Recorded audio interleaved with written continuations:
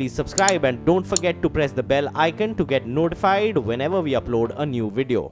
We have seen the headlines come through from Karnataka and uh, B.S. Yeddyurappa has taken oath as the Chief Minister of the state. Let's go across to our colleague Rukmini Rao for the latest. Rukmini, now what's happening?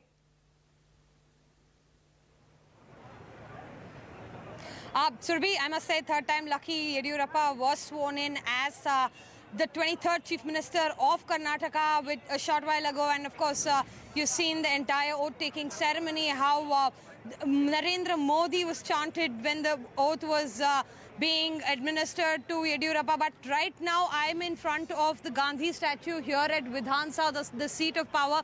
We are expecting uh, to actually come and, uh, you know, take charge of his office here. But more importantly, uh, all the Congress bigwigs, Mr. Mallikarjun Kharge, Ghulam Nabi Azad, uh, Siddaramaiah, and, uh, you know, we've also had uh, MLAs who were uh, holed up in a resort since yesterday also come in buses and also JDS, of course, uh, will be getting their MLAs as well. There's a big protest going on here with uh, both these parties who have, uh, in fact, approached to former government in protest of the swearing in that has taken place and also given the fact that we saw that uh, midnight uh, hearing at uh, Supreme Court you can see uh, both the JDS and the Congress at this moment, uh, in fact, uh, protesting against the swearing in. And um, of course, we'll also have to see what kind of decisions are uh, taken at the first cabinet. Now, remember, only Yeddyurappa, he's the only person who's been sworn in.